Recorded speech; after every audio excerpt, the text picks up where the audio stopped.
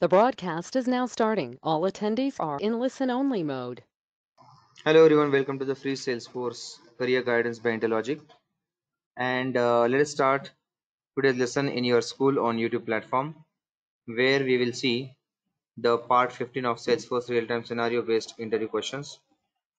So let's start one by one understanding how you should answer this kind of questions in the interview.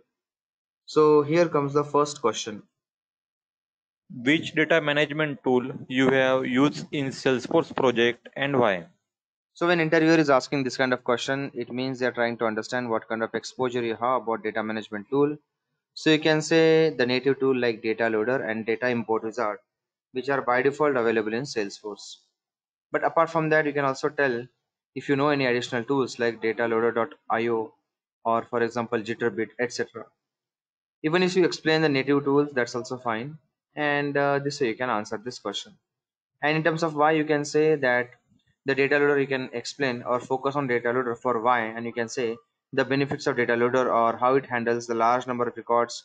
Apart that, apart from that, working on export, and apart from that, hard delete, various facilities are there.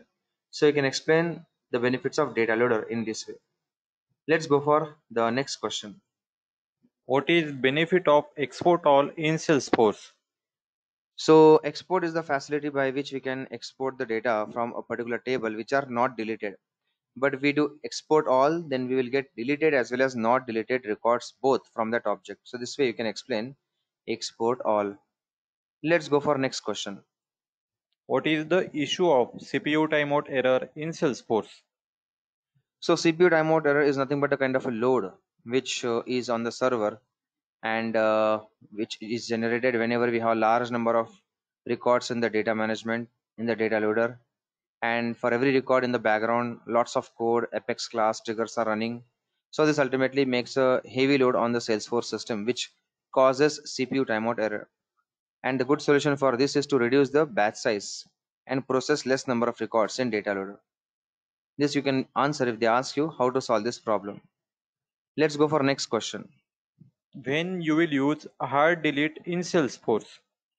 So we know delete operation when we delete the record then record will go to the recycle bin and 15 days it will remain there.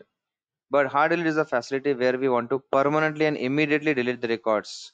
Not 15, not 14. Within a few seconds the record will be permanently deleted.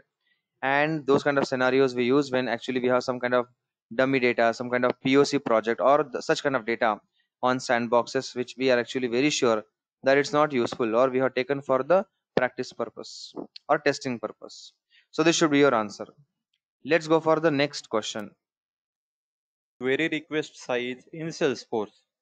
so interviewer interviewer is asking about the query request size. What is query request size? So whenever we work on data loader and we do export or export all so the speed of the export or export all is decided by query request. Please note if you want to increase the speed of export or export all you can increase the value of query request size. This is similar like a batch size and also it helps us to control the proceeding of the data loader. So this way you can answer all these questions guys for the interviews. And let's meet in the part number 16 for learning some more important interview questions. See ya